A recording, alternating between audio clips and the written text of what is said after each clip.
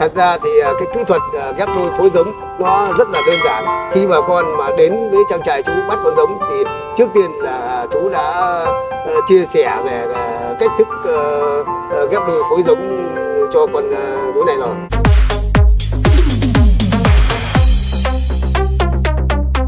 Chào mừng quý bà con và các bạn đã quay trở lại với kênh Làm giàu cùng chuyên gia. Như quý bà con cũng đã biết, Làm giàu cùng chuyên gia là kênh chuyên tìm hiểu, chia sẻ và kết nối bà con đến những mô hình chăn nuôi đạt hiệu quả cao trên cả nước.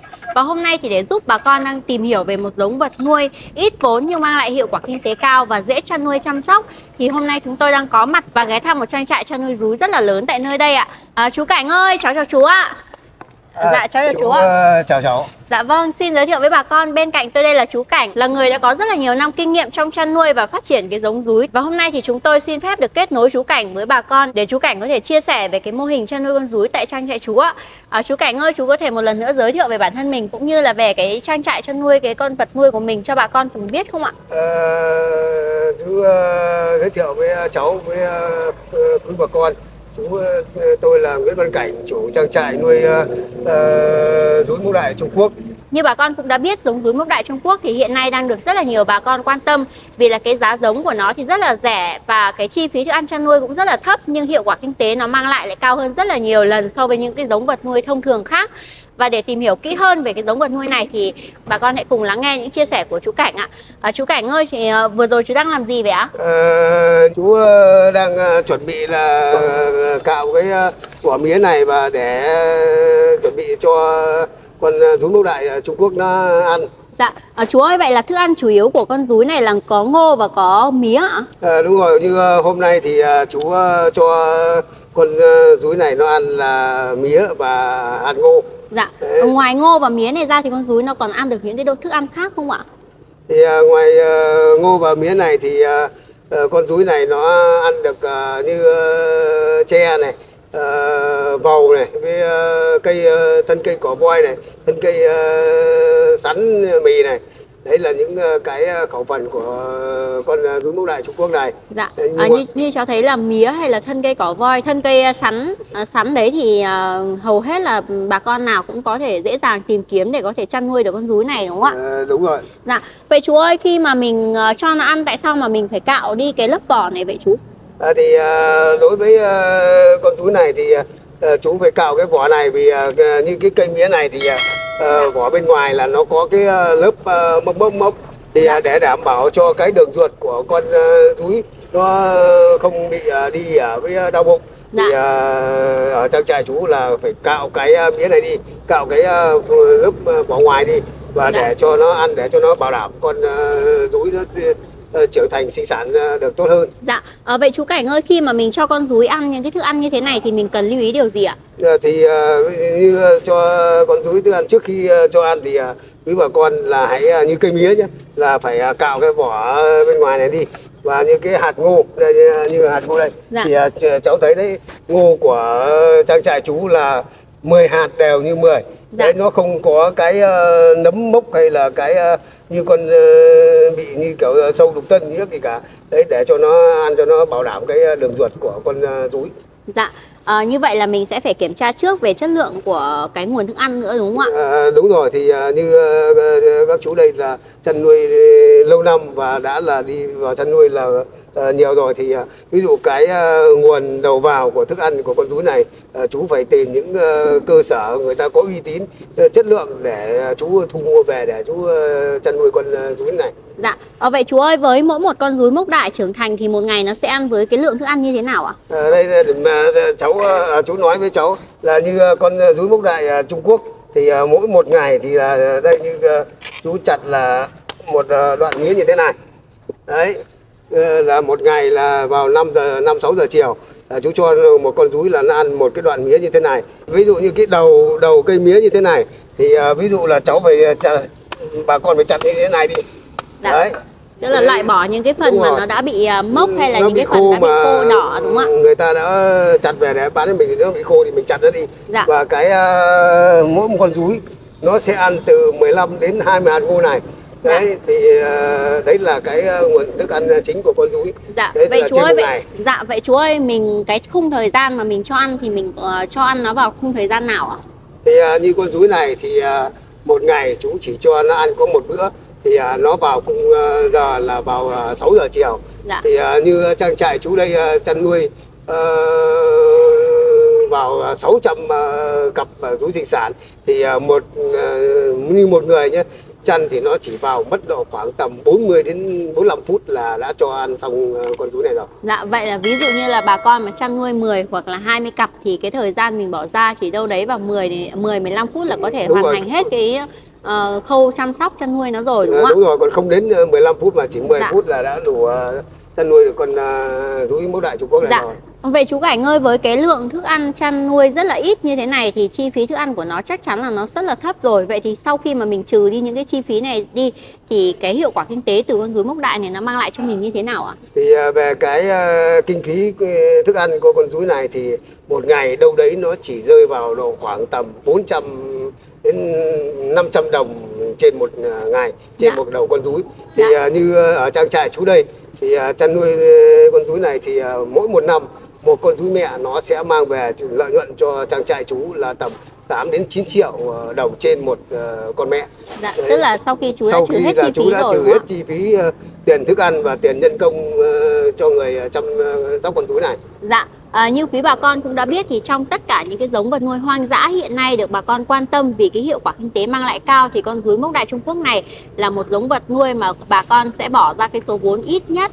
Vậy thì à, chú Cảnh ơi ít vốn thì có nghĩa là ừ, ví dụ như với mỗi một cặp ừ, con rúi này mà bà con mà muốn chăn nuôi, bắt tay vào chăn nuôi thì bà con cần có số vốn là bao nhiêu ạ?